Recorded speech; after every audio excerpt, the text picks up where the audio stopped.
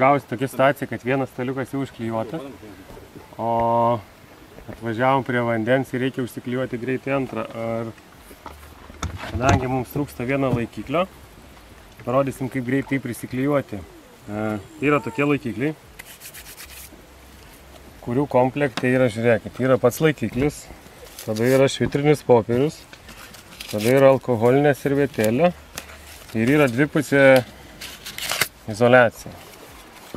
Pats gamintojas rekomenduoja e, su šia izolacija užklijavus palaikyti bent 12 valandų, kad viskas sustengtų, bet mes 12 valandų neturim, pabandysim realiai, priklijuojam, dedam iš karto speliuką ir plaukysim. Jeigu atsilups, nu ką darysi? Mes nesilaikymėm gamintojo rekomendacijų ir tiesiog prisiklijuosim paskui su klijais. Tai va, bet jeigu laikys, tai valio, kodėlgi ne? Tai kai viskas vyksta, dabar galim pasižiūrėti. Va, pasižymėjom vietą, šiek tiek švitrinio popierio pasišiaušiam, vos vos labai nedaug patį laikiklį. Irgi šiek tiek sušiaušiam. Taip irgi rekomenduoja pats gamintojas, nors izolacija yra, aš nežinau, ar to būtinai reikia, bet nu darykim kaip jisai liepia. Taip, įsilupam alkoholinę servetėlę. Dabar sušiauštą paviršių tiek ant valties, tiek ant laikiklio gražiai nusivalom.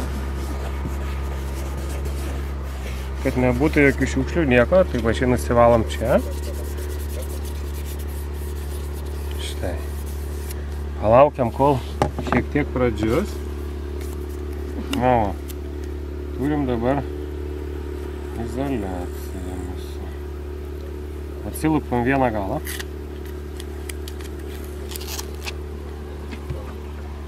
Laikiklis nudžiuvo. Dėkim laikiklį. Štai. Ir užtrinkim. Nu, tiesiog paspausim, kad ir liptų normaliai.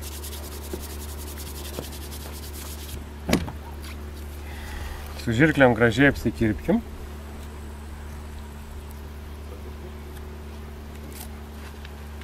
Kad būtų tvarkinga, gražu.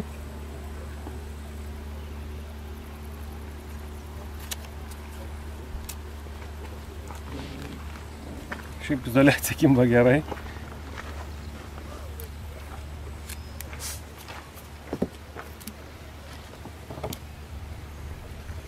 Štai.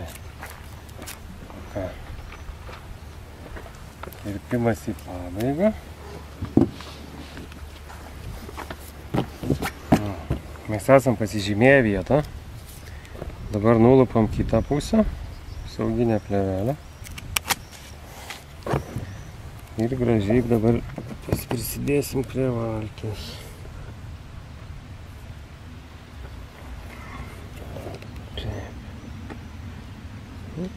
Viskas jau kažkaip tai užspaudžiam. Dabar laikiklis vietoj ir žiūrėkit. Nulu. Šiaip tai gerai prisikabina. Tai turbūt laikys. Aišku, 12 valandų reikia pagal gamintoją. Niekam čia nerekomenduoju daryti kitaip negu rašo gamintojas, bet va, žiūrėkit, turim laikiklį. Turim stalą.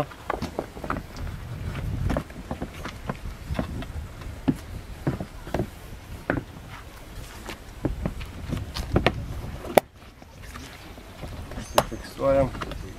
Stalas yra čia reguliuojamas. Pasidarom kaip mums reikia. Ir ant jo plaukdami dėsim masalus, žvejodami. Va kaip patogu viskas ir greita. Ačiū uždėmesi.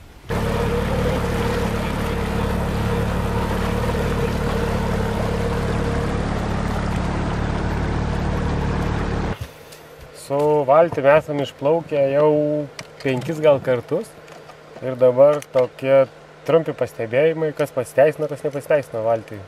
E, nu, ta prasme, iš visų daiktų, kuriuos aš ją susidėjau. Tai dabar, va, kada tu nusukai va, kamerą į inkarą, tai inkaras labai viskas gerai.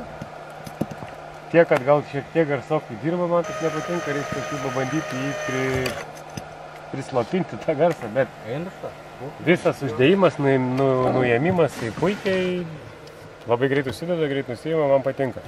Labai patinka šitie staliukai. Dabar va irgi plaukiam 33-35, net nesujudamas salai, va.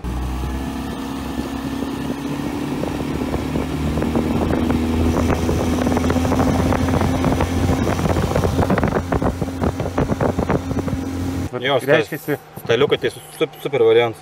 tas bortelis pakankamai uždengia vėją ir nuima ir nieks nenuskrenda. Iš tikrųjų, va dabar va prisimėtėme salų, taip pačiai va kaip ir aš čia va taip naudoju. Tikrai liuks dalykas.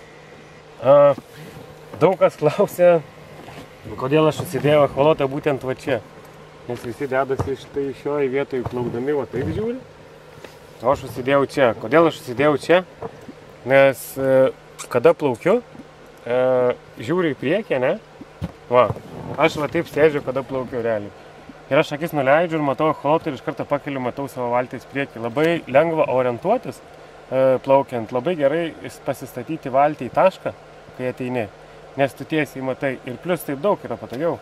Nes e, esu vat, ne kartą plaukęs, va kai čia yra, ne? O pavyzdžiui, įsižiūri ir vos neatsitrenki kitą valtį. Nu, man taip yra buvę. Aš nežinau, kaip visiems, gal aš žioplys, žinai, biškai.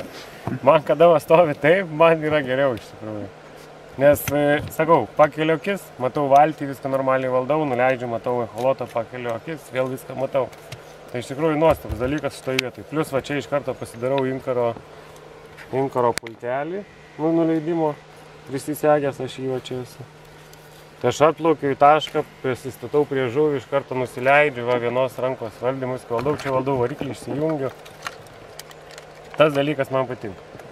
A, ką pakeiščiau dabar gal biški, tai kad pasidėjau dešiniai pusiai sonarą, kada plaukiu ir greitis virš 15, gaunasi, kad e, trikdžiai atsiranda echolote, tai reikėtų netgi ir perdarysiu ateityje sonarą perkelt kuo arčiau variklio ir netgi mesti į kairę pusę, nes aš įsivaizduoju, kad nuo variklio sūkių išmeta daug burbulų ir gaunasi trikdžiai man.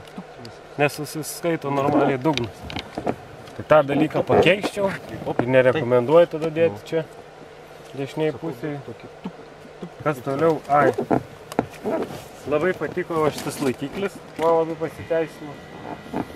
Ir susideda ir keturias net meškerės. Ir ant greičio plaukiant, va, susistatai, užsisėdi, niekur nepabėgs tas meškerės, jos tikrai netrukdo, vat net ir žvybai, sustoja viskas šitai gauna. Toliau. Ai, e, echolotą ir inkarą užmaitinau vienu akumuliatoriu. Va, jisai čia pas mus yra 40 amperų valandų. Pilnamo užtenka viskam, visą dieną žvėjojasi, dar lieka. Aišku, gal kai bus šaltis, gal mažiau veiks, bet iš tikrųjų pat visą laiką jungtas, visą dieną echolotas kainuoja ir akumuliatorius, nu, ta prasme, rinką kilnojam, pilnumoje 40 užtenka. Aš čia draugas irgi vienas klausė, sako, ar ne, nėra trikdžių, kada pajungtas elektrinis variklis ir echolotas, kada elektrinis variklis tikrai jokių trikdžių nėra, jeigu būtų gal motorgaidas, tai yra, nu, inkaras elektrinis. Tada gal būtų ir trikdžiai. O čia jie tikrai nesipjauna tarpusai ir viskas labai gerai. Daugiau gal čia dabar operatoriui, aišku, sunku nufilmuoti. Čia tu pasidaręs tokias atitampas, čia prisidėjęs daiktų gal. Nu, kitą kartą. Arba gal pasižiūrėsim. Vat. Paimprovizuoti. Esam padarę. Na, tokias atitampas per visą valtį.